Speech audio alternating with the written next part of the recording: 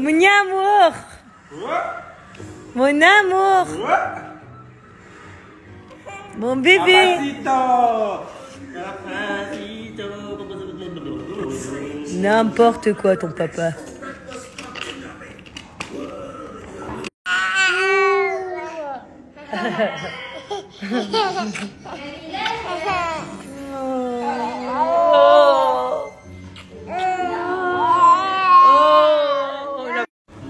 Je voulais répondre à une petite question euh, que parfois on pose? C'est vrai que quand vous voyez euh, London entre auteurs, vous me demandez souvent si ça me fait du mal. Euh, donc pour ceux qui ne le savent pas, euh, quand Kaiden a eu son accident, euh, qu'il a été, euh, qui s'est noyé dans la piscine, il était dans un trotteur. Parce que forcément, il avait 9 mois, il savait pas marcher, hein, il a avancé dans le trotteur et c'est comme ça qu'il est tombé dans la piscine. Et ben, j'ai envie de vous dire que dans la vie, il faut pas se laisser abattre par les événements. Et du coup, je m'étais demandé si, euh, suite à ça, j'arriverais à mettre euh, London dans un trotteur. Parce que bah, forcément, trotteur, c'est un mauvais souvenir. Hein. Je peux vous assurer que euh, quand euh, Kaiden était bien rentré à la maison sain et euh, le trotteur, on l'avait explosé.